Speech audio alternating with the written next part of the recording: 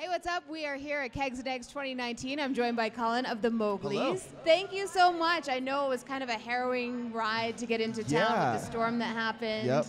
Did you just like pull in and ju- jump out of the bus? I have been awake for 11 minutes.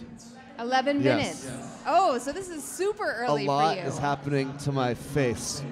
You're like overload. Yeah. There's so much. It's too early to process everything I'm, that's happening. I'm doing my best though, trying to. Yeah. Yes, you are. Well, we appreciate it. It's Kegs and Eggs 2019. Now, have you ever played a show this early? Because I know you've been at this for a while. You know, we've done one other Kegs and Eggs event, and I've Okay. learned the the way to do this is to kind of just lean in. I should probably have a beer.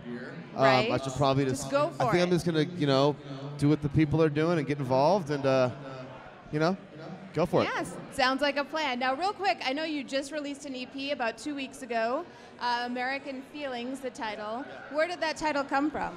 Well, it was four different songs that are like sort of our just uh, all-encompassing way we feel that this country is feeling right now, and you know, you look in people's eyes and what's happening.